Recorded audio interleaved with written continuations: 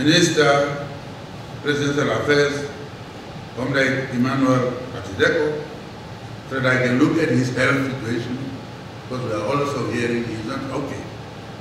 So therefore, I want to be close to him and decide anytime if I think his health doesn't allow him to continue.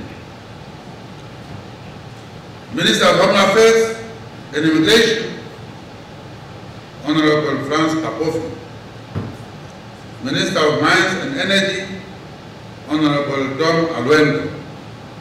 Minister of Agriculture, Water and Forestry, Honorable Alpheus !Naruseb. Attorney General, Honorable Albert Kawana. Minister of Justice, Honorable Sacky Shanghala.